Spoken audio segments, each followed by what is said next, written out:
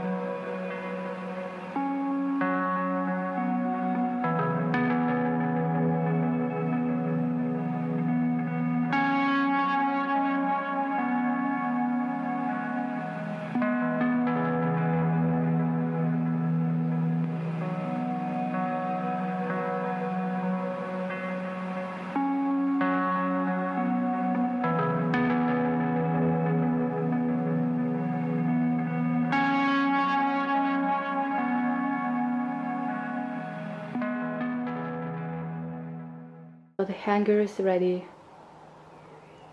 Here it is. And it's me. Hello. And this is officially our first mirror in this apartment.